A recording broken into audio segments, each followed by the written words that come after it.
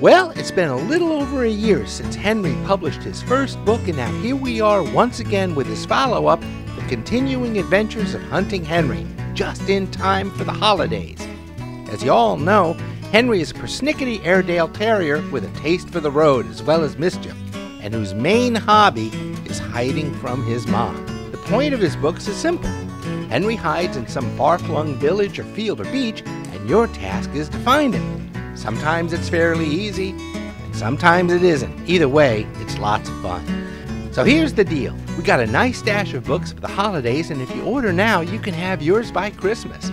We're not a big publishing house, so we depend on Henry's fans to keep this thing a working the way it should. So order now, and Henry will be heading your way in no time. Happy Thanksgiving.